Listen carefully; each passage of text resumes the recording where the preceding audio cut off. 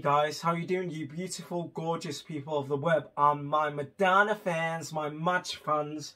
Um, I am back once again with another reaction to the queen, the ultimate queen, the goddess of pop, who has just released her remixes album, um, Madonna.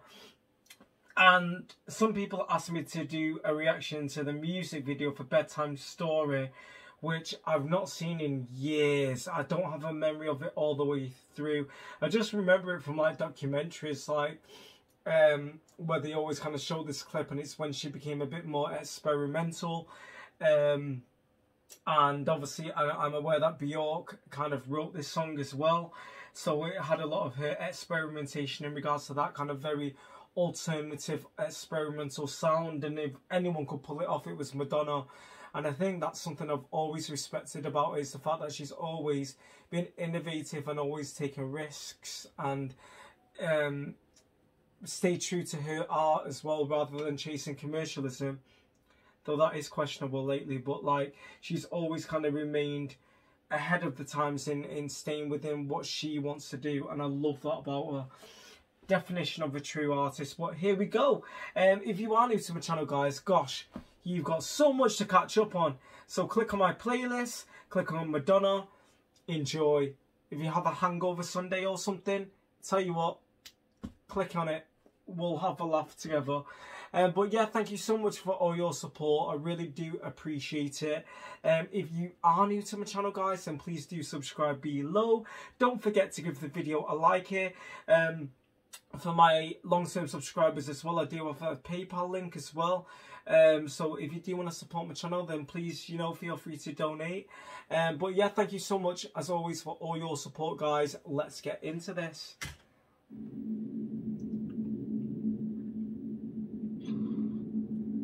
Oh, Ciccone.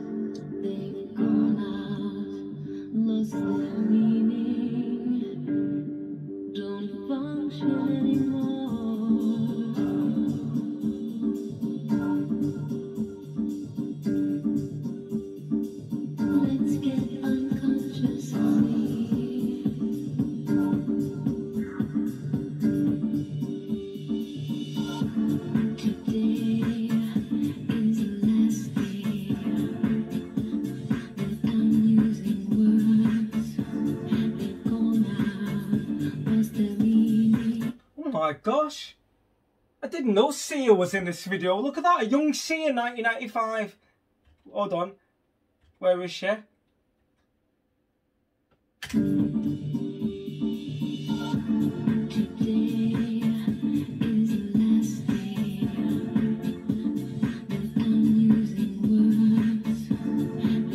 There she is. See you, ladies and gentlemen. No, I'm only joking. But um, I love this song because I know a lot of people kind of criticise Madonna, um, or rather, she got a lot of criticism in the 80s in regards to her vocals. Um, but I do think, and I, I, do feel this about Britney Spears as well, because sometimes you don't have to have a diva-like or big voice. Like, I know I love that, but um, I feel like Madonna's voice is very adaptable and it suits many genres of music and I feel she always pulls them off authentically. So even when she did like Dick Tracy and she kind of kind of did the big kind of jazzy bluesy numbers like um Hanky Panky and I love Sooner or Later um and um songs like that she pulls it off there's something about her voice is very adaptable to different various genres of music so obviously we've seen when she did the vocal kind of um, training from Evita, which then kind of propelled Ray of Light in that experimentation. But even here before that, like it suits this genre of music so well because it's so listenable and so kind of pleasant to listen to.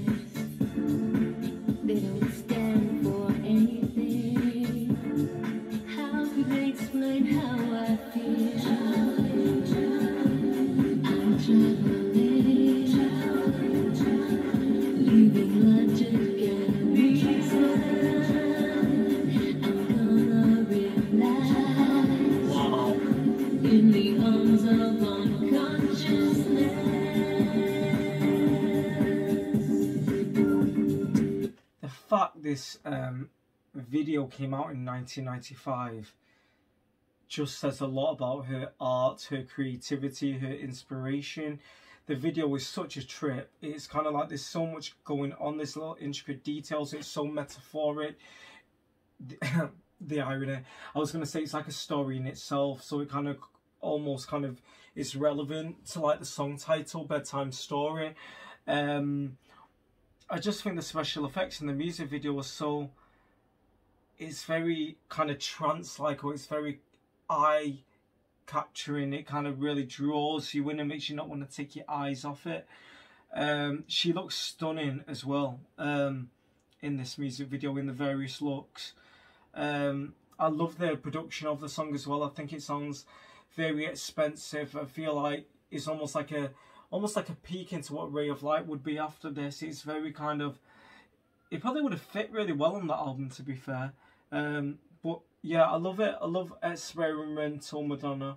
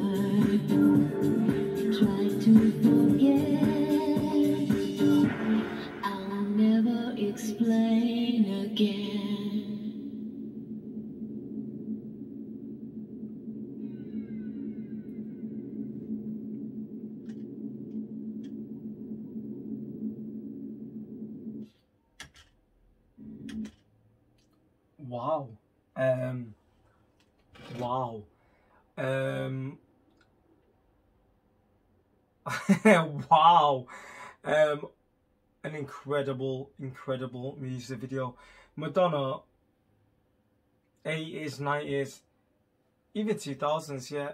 In fact, Madonna, Madonna's whole discography, she's always been so interesting as a music video artist. Um, justify my love of I've already said this it's probably my favorite music video of all time um and um I just think the song itself is very definitely definitely uh, definitely you can hear the Bjork influence in in how she's kind of been inspired by her and putting that into like a Madonna kind of stylistic choice to to present that um I love the music video. I love music videos that are really deep and complex and analytical and make you think or think, oh, what does that mean or what does that represent or what's the meaning of this? And I feel like it's one of them that you could watch it again and notice something else. And I think the special effects, especially for like um, mid 90s, are absolutely extraordinary. She looks amazing.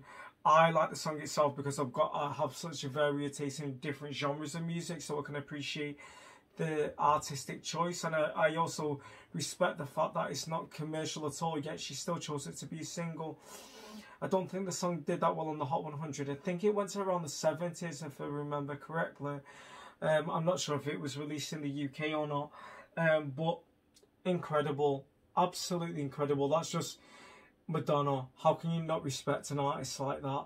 Um, but yeah, there we go, guys. Um, if you are new to my channel, please do subscribe below.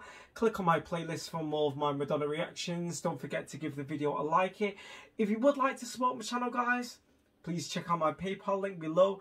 Thank you for all your support, my loyal subscribers. I really, really do appreciate it.